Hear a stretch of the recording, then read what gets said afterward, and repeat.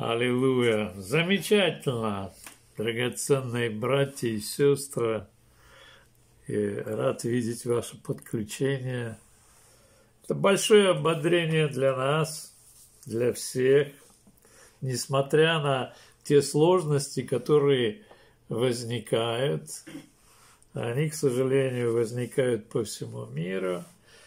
И мы хотим избежать и сохранить э, жизни и здоровье людей.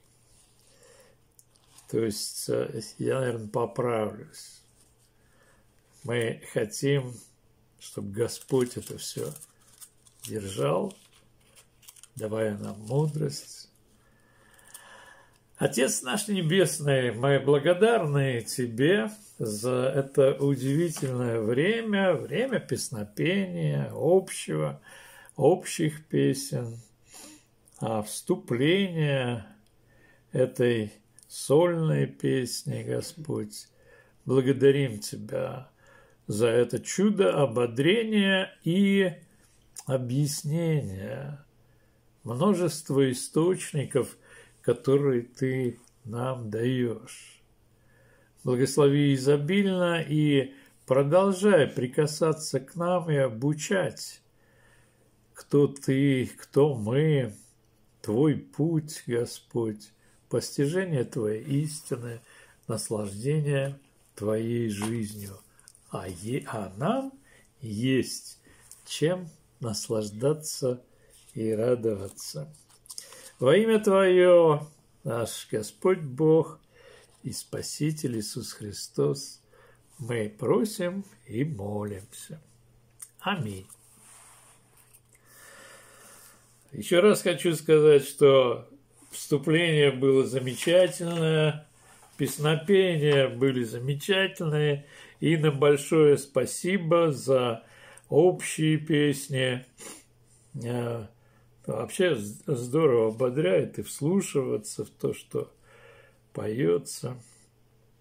Мне понравилось э, в проповеди пастора Нурлана атрибуты и акценты Бога. Э, и кроме того, это, это его черты характера, и как он наделяет нас. Очень интересно, как пастор Нурлан, Нурлан обнаружил, что у ангелов радости намного больше, чем у нас. Он ошибается. Потому что по мере того, ой, слушайте, что там творится сейчас на небесах. Скажите, ангелам нужно прощение? Нет. Святые ангелы, они так и есть святые. Кроме того, они еще что-то, вглядываясь в нас, изучают. Что они изучают? Благодать и милость. И они радуются, слушайте. А нам еще нужно растолковать, что нам необходимо. Спасибо большое, пастор Нурлан. Некоторые мысли, которые мне очень понравились, это объяснение, насколько великая радость и через а, радость, которую Бог дает, она не может вместиться в рамки жизни обыкновенного человека. Затем радость, э, так, а, источники этой радости, то есть та радость, которую мы воспринимаем от Бога, она становится источником радости. То, что сказал Иисус, говоря об источнике, который он передает. А это источник духа, это источник радости, благодати, любви. А потом это ободрение еще больше держаться за Бога. Потом, а, замечательно это а, мысль о творчестве Бога. Затем, как Его голос превращается, когда мы говорим в Его голос, а, мы говорим, а, а его голос звучит. И раскрывайте подарок, который Бог дает. Спасибо, пастор Нурлан, замечательно. Сегодняшняя а, проповедь рождественская, я ее назвал «Хорошо устроились». Повернитесь друг к другу и скажите «Хорошо устроились». Некоторые скажут, звучит как-то не особенно хорошо. Иногда мы это говорим с некоторым, с некоторым сарказмом, иронией. А нам нужно понимать, и понимать, и, и в, все больше углубляться в ту, в ту о, парадигму, систему ценностей, в которой мы оказались. Мы действительно оказались в том месте, где мы говорим, мы хорошо устроились, а Господь как бы гладит нас, как, де, как детей. Правильно, вы хорошо устроились. Отец говорит, да вообще вы лучше всего устроились. Почему? Где мы находимся? Мы находимся в нем. Поэтому в послании к Ефесянам так трижды говорится мощно и оживотворены в нем вместе с ним, воскрешены в нем вместе с ним, посажены в нем вместе с ним. Слушайте, мы здесь на земле, в Петербурге или в других замечательных местах этого мира, и мы в нем. Вы представляете такая радость? Мы в нем, в Иисусе Христе. И все Евангелие желает а, как раз на этом акцентировать все наше внимание, что мы в нем. Только в нем можно остаться непогрешимым, только в нем мы можем полностью быть уверены в том, что я сейчас буду говорить. Итак, Евангелие от Луки – тот же самый отрывок, который так легкомысленно взял пастор Нурлан. Это замечательный отрывок, который множество проповедников говорят в эти дни. Это вторая глава Евангелия от Луки. Десятый стих, когда ангел явился пастухам в поле. Вообще-то. А, где, где пастухи были в поле? Вы сейчас, вы сейчас увидите еще одно воинство пастухов. И сказал, не бойтесь, я возвещаю вам великую радость, которая будет всем людям. Недавно один замечательный мой друг, э, который обучается евангелизировать, и он задает искренние вопросы, когда сталкивается со сложностями. Он говорит, что мне делать, когда мне, я говорю, что Христос умер за тебя. Он говорит, а человек говорит, так он жил две тысячи лет назад. Как это он за меня мог умереть? Хороший, правда, ответ. Как это? Действительно. Для нас мы с вами разбрасываемся этими жемчужинами, этими а, бриллиантами.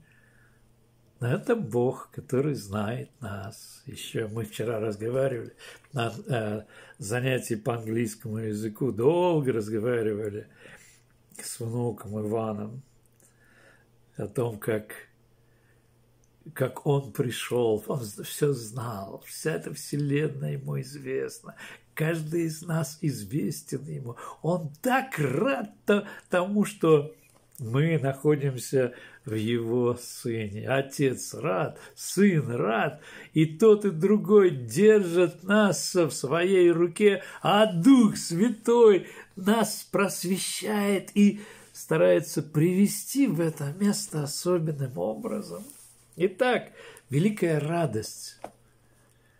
В духе мы радуемся.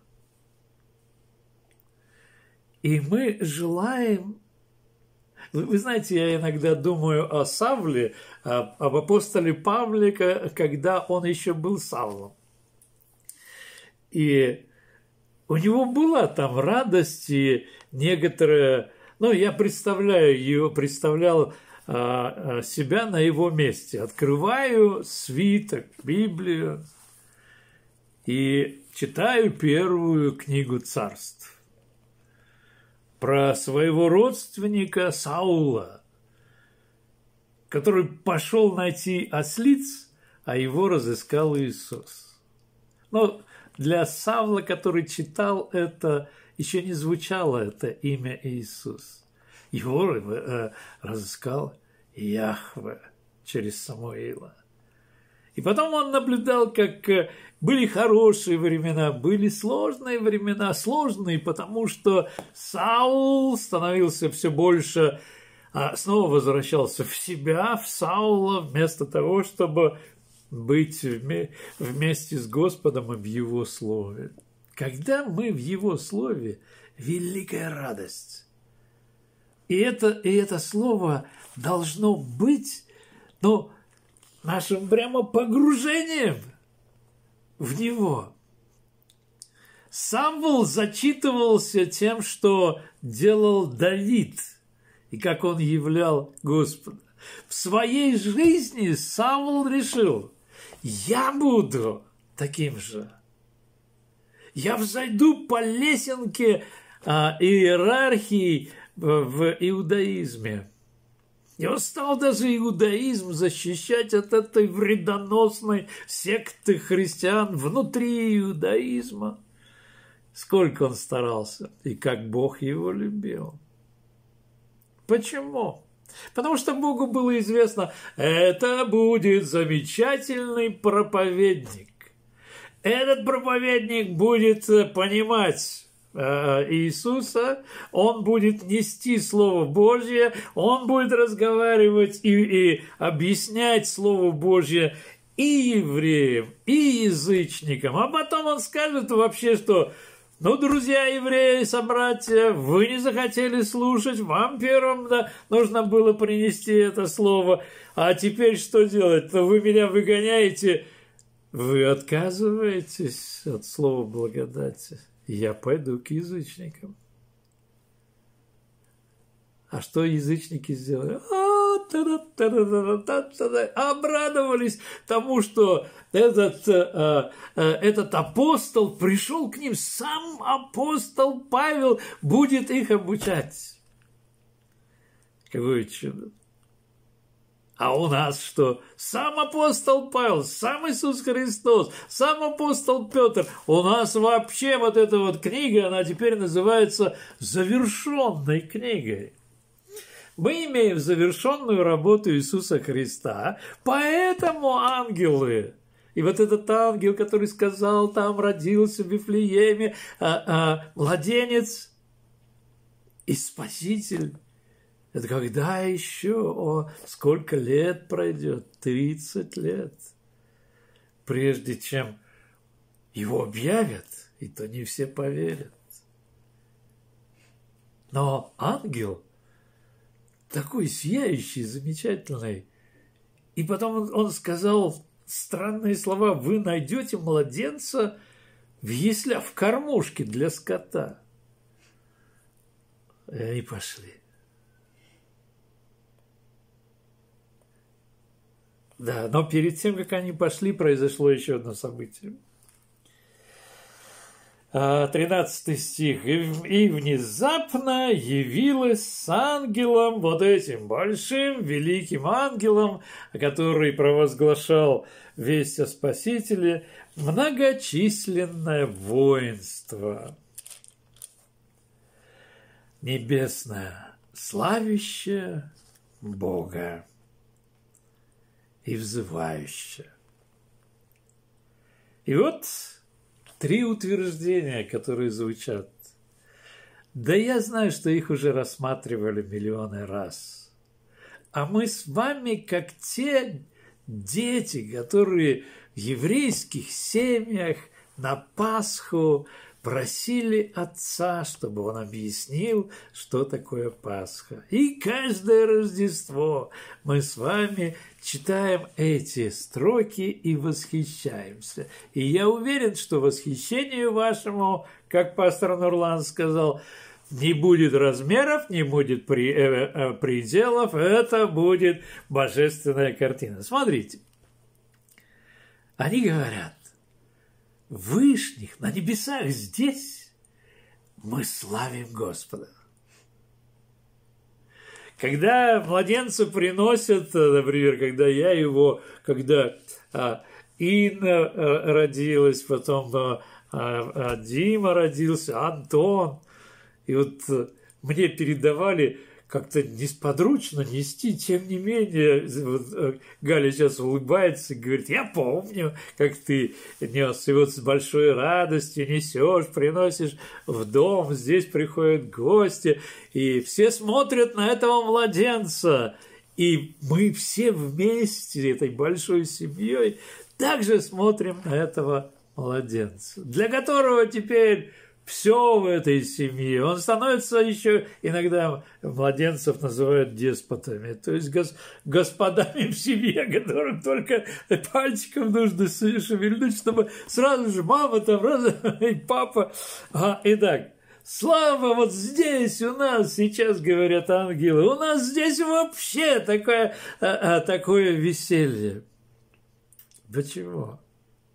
Слушайте, то, что теперь ангелы будут изучать, у них никогда не было. Миллионы и миллиарды малышей, которые родятся в Иисусе Христе. И будут еще творить через плоть всякие, ну, всякие штуки. А они будут перед собой ангела видеть. Только что напроказничал, и вот уже к отцу прибегает и говорит в Иисусе Христе, прости меня, Господи. Иногда бывают другие отношения к этому. Ты что же это так? и еще больше купает этого человека, который что-то такое сделал неправильно в том грехе, в котором он был. А Дух Святой?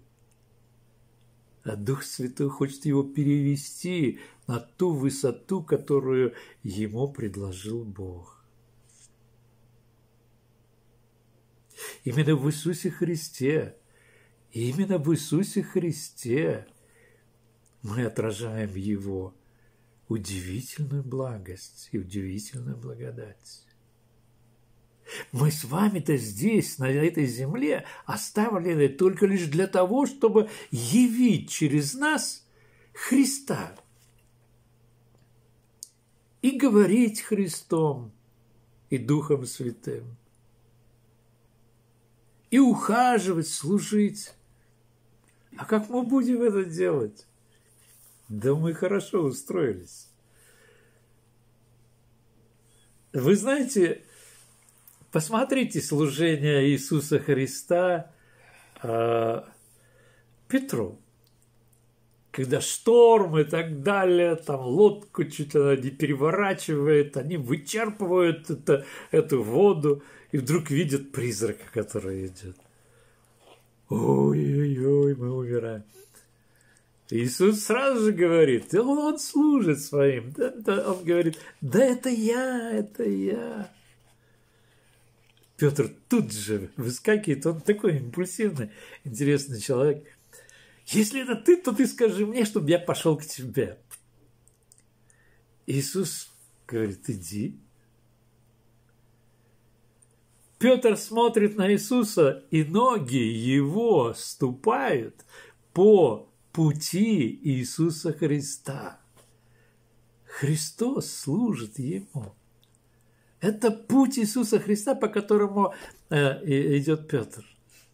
И вот здесь ангелы говорят, здесь у нас слава такая на небесах, а вот у вас там мир, здесь написано у нас на русском языке, и на земле мир, то есть мир, состояние покоя. Да ладно. Но мы сейчас живем в такое турбулентное время, когда отовсюду всякие слухи идут, то там бабахнет, то здесь что-то такое. А где мир, где мир? Ой-ой-ой, это вы, мы с вами. На земле его тело. На земле его верующие, до которых дошло то, что сказал апостол Павел во втором послании к Коринфянам 5-20. Мы полномочные послы Иисуса Христа, говорим этому миру, примиритесь. Кто говорит? Господь, Духом Святым, через нас, своих послов. На земле мир в нас – Всегда ли мы говорим? Не, не всегда, но ничего не расстраивайтесь, еще больше будете говорить теперь. Смотрите, и на земле мир. Почему? Потому что в этих верующих благоволение Бога. А как, а как еще вообще может быть? Тот, который своего сына отдал в жертву еще до сотворения этого мира. Весь этот мир был сотворен на этой жертве. Весь этот мир, Колоссянам 1, 1 э, глава 19 стих, это благая воля была, чтобы создать этот мир на Агнце Иисуса Христа. Он прежде всего не то, что он сотворенный, он единосущный с Отцом. Но как Бог Сын, Он принял на себя это, это замечательное действие. Отец подарил ему. Отец мог бы сам стать таким. Но он подарил это своему сыну любви. И когда мы спасаемся, мы переходим в это царство любви, которым является Иисус Христос на земле мир, который являют верующие в Иисуса Христа. И они сообщают об этом мире. И когда они это сообщают, то в нас есть какой-то такой духовный свет, который, вероятно, не виден, но иногда видят его. Не то, что сейчас вот от отражение идет, да, а внутреннее – мир, покой, любовь, служение, забота. Это невероятно. На земле мир верующих в Иисуса Христа. Мы не приходим с оружием. Мы не приходим с распрями, ссорами, спорами. Когда мы в Духе Святом, мы с вами заговариваем и ждем. Человек начинает говорить что-то свое, мы ждем просто в очереди, когда скажем о мире, который Бог подарил нам. И а почему мы такие радостные? Потому что Отец нам говорит, я тобой полностью доволен в Иисусе Христе. Как может Он быть нами недоволен, когда Он сказал своему сыну, приводя его на его сессии инаугурации, посвящение, что он Мессия, это Евангелие от Матфея, 3 глава, 17 стих. Вот мой сын, которым я полностью доволен. А Иисус говорит в Евангелии от Иоанна в 17 главе с 21 по 25 стихи. Отец, я молю Тебя, точно так же, как я в Тебе и Ты во мне. Я прошу Тебя, чтобы и вот эти, поверившие Твоему Слову, Твоему плану спасения, что, чтобы они были в Тебе и во мне. Вы слышите?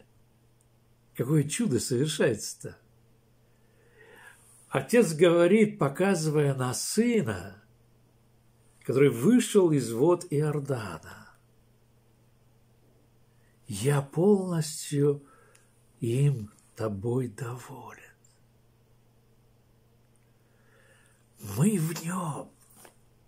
И он говорит, я полностью тобой, рожденный свыше человек, доволен. Давайте еще посмотрим на, на одну деталь. Вообще, зачем понадобилось это вот э, э, знамение того, что происходило на день рождения Иисуса Христа на небесах? Вот открыл, открылись небеса. Когда перед Иоанном Богословом открылись небеса, небеса, он увидел сидящего, на, о, вернее, он увидел э, э, семь золотых светильников и ходящего между ними, между этими светильниками Иисуса Христа. Семь золотых святых свечей, церквей. Это его тело. И он, глава этого тела, он ходит внутри вот этого организма, который теперь полностью его, и он просто как, как глава, как тот, который передает свои импульсы членам тела и поправляет. Ангелы показали интересную вещь. А я, я, я так думал, а почему ангелы не явились, допустим, а, царю Ироду? Почему ангелы не явили вот такое воинство, не явилась Мария, а там один ангел пришел. Захария. Почему пастухам явились? Наконец, сегодня это дошло до моей светлой головушки. Вы знаете, ведь подобная картина описывается в 32 главе а, «Бытия», когда Яков со своей семьей, большой семьей, со своими стадами имением, большим имением, возвращается от Лавана, отца а, его жен, Леи и Рахиль. И а, ему встречается, и он должен будет встретиться с тем, кто его не любит и готов его убить, с братом Исавом. А Бог устраивает перед ним праздник. Открываются небеса, и Яков видит, там написано воинство ангельское. Что они делали? Качали головами и говорили, ой-ой-ой, тебе скоро с Исавом встретиться. Нет, они радовались. Это был радующийся лагерь, воинство – я представляю, как они могли сказать, там а, Исаву махать своими крылышками, там, руками и говорить, и, а, а, и не Исаву, и Якову, и Яков, молодец, здорово, ты веришь, ты, ты представляешь, что, что тебя ожидает. Мы вообще это уже знаем. И они радуются. А для какое предназначение у ангелов служить? Служить вести, приводить людей к спасению. Какая, э, э, э какое служение было у пастухов? Служить. Заботиться о чистоте, о здоровье овечек. Причем особенных овечек, которые, которых должно было подготовить к тому, чтобы их использовали как жертвенных животных. Какое предназначение у ангелов, как оно записано? В послании к евреям 1 глава 14 стих. Они служебные духи. Они своего рода тоже пастухи. Встретилось два отряда пастухов. На небесах радуются, и этим пастухам было объявлено, будет великая радость всем и вам. И они побежали туда, в Вифлеем, где и нашли в яслях, в кормушке для животных. Кого они нашли? Младенца. Младенец не бывает там в кормушках. Младенец бывает в самом лучшем уголке дома. Но бедственное положение было с одной стороны, а с другой стороны. Этот э, Агнец как бы говорил, ешьте мою плоть, пейте мою кровь. Он был рожден. И на одной из э, рождественских картин я видел чудесное отображение жизни Иисуса. Вот младенец, кормушка для скота, там он лежит э, на какой-то простыночке, наверное, не помню точно, среди сена, которое предназначалось для пищи животных. Вот. И такой освещенный, а сверху тень креста, который произойдет в его жизни. И благодаря тому, что этот младенец был предназначен для жертвы, у нас великая радость. Мы с вами благодаря Иисусу Христу имеем совершенно другую природу внутри. Это природа, исповедующая покой, мир с Богом. Бог это сделал. Он примирился с нами через своего Сына. И потом это, этот мир и покой разносит через нас, как официантов удивительного большого пира. Съешь, а вот тебе. Поэтому мы говорим с вами о единственном пути спасения. Это Иисус Христос. Это жертва мы с вами читаем эти слова, давайте вчитываться и вчитываться. Слава Вышних Богу! И на земле мир вот в этих людях, которые веруют. На земле могут быть войны, могут быть распори, катастрофы, но там есть самый главный мир. Это мир Бога, который заключил его в Иисусе Христе с нами грешными. А мы поверили и стали иметь Его благоволение. Так хорошо устроились каждый день. Читая эту книгу, мы понимаем, что и книга является хорошо устроились, и царство его хорошо устроились, и его служение для нас – это все и Дух Святой. Кто такой Дух Святой? Утешитель. Утешая нас, Он хочет показать, слушайте, люди, идите, то же самое будет и с вами.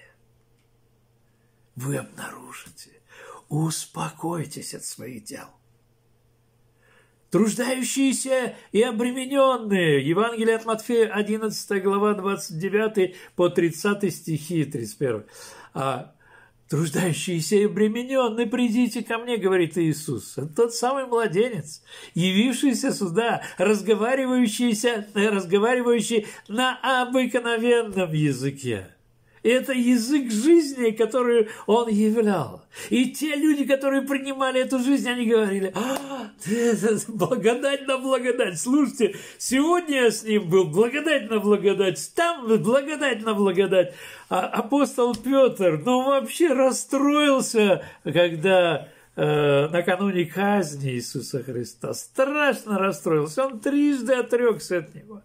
Ну, трижды отрекся прямо в тот момент, когда э, Господь нуждался в нем больше всего. И он не смог это сделать. И вот он готов вообще все бросить, потому что из него не получилось ни евангелиста, ни пастуха а, а, людей. И что делает Иисус? Хорошо устроился. Петр, у тебя сегодня великий день. 21 глава Евангелия от Иоанна. «Я тебе не дал ни одной рыбешки. Взгляни на сети пустые. А теперь послушай, забрось по правую сторону, и ты узнаешься, узнаешь, как ты хорошо устроился». Аминь. Отец наш Небесный, мы благодарны Тебе за это чудо пребывания и проживания в Тебе и в Твоем Слове. Благодарим Тебя, Господи, за то, что это такая радость быть теми, кто воспринимает Твой мир, покой, Духа Святого. И служить, и служить. И служить, и служить раздавая самое лучшее, что может быть, чем один человек может послужить другому человеку. Спасением через Иисуса Христа. Это действительно покой в семье, покой во взаимоотношениях с коллегами, с детьми, с родителями. Это вообще чудо, когда мы с вами а, делаем так, чтобы эта книга не отходила от уст наших, то тут весь мир – Потому что в Иисусе Христе Он взял нас, те, которые были внизу, в грязи, и сотворил, что мы выше, чем ангелы. А ангелы, глядя на нас в Иисусе Христе, говорят, свят, свят, свят. Отец наш Небесный, благословите слова, которые мы услышали. А, может быть, среди тех, кто а, слушает это слово по интернету, есть человек, который не знает Иисуса Христа как своего Спасителя. Примите его сегодня. Скажите простые слова в вашем сердце.